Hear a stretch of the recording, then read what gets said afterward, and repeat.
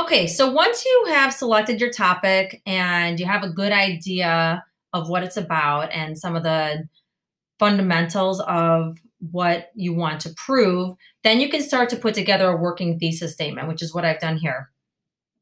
So the thesis statement that I'm going to work with is virtual learning is not a good alternative to face-to-face learning because it requires students to be self-disciplined, struggling students suffer, and all students do not have the same access to technology and Wi-Fi.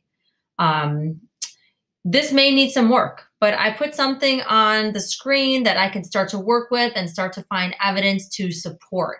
This may have to be adjusted at some point throughout the process. But we're going to go ahead and start to find information that supports this one of the aspects of this thesis statement, uh, which would be either um, that it requires students to be self disciplined, that struggling students suffer, or that all students don't have the same access to technology. So I'm trying to find evidence to support one of those three aspects of my thesis statement, which is what I'm trying to prove. So in the Search Discover database, I found this article Online classes aren't as effective as being in person with a teacher.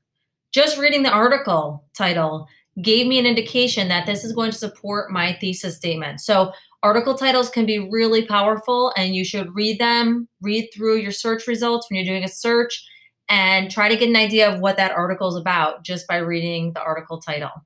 This comes from a publication, the Waterloo Region Record. It sounds like a newspaper.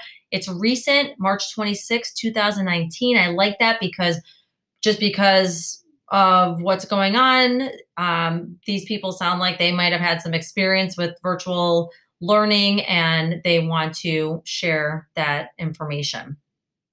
So I'm going to scroll down here. And as I was reading through, this paragraph caught my eye. So here it says a report from a researcher at Columbia University Teachers College looked at community college students. It found that online courses are less likely to be completed and overall grades are lower than courses in which the student is face to face with a teacher. So, this lack of completion matches which part of my thesis statement? If you guessed students need to be self disciplined, then you are correct. So I can go ahead and maybe I want to copy that piece of evidence onto my Google Doc. Maybe your teacher provided you with um, a digital note card that you're going to fill out. I'm going to go ahead and copy that information and I'm going to probably paraphrase it at a later time. So you're going to go through and sift through your articles and try to find little nuggets of information like that. And when you find an article that you want to use evidence from, this is really important too. You also want to make sure that you're recording the citation because I can't tell you how many times students have come back to me and said, "Oh my gosh, Mrs. Connelly, I don't know don't remember where I found that information." If you record the citation along with your evidence, then you are assuring that you'll be able to go back and look at that information again and put it in your works cited. So in order to cite your article, you're going to go ahead and click the cite button. And it creates an MLA 8. We want to make sure we're in the MLA 8 citation. And here they created this nice citation for us. We don't even have to do any of the legwork.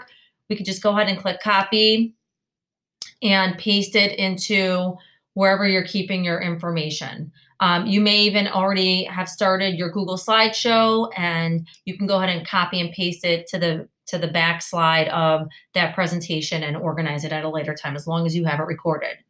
All right, I hope this helps.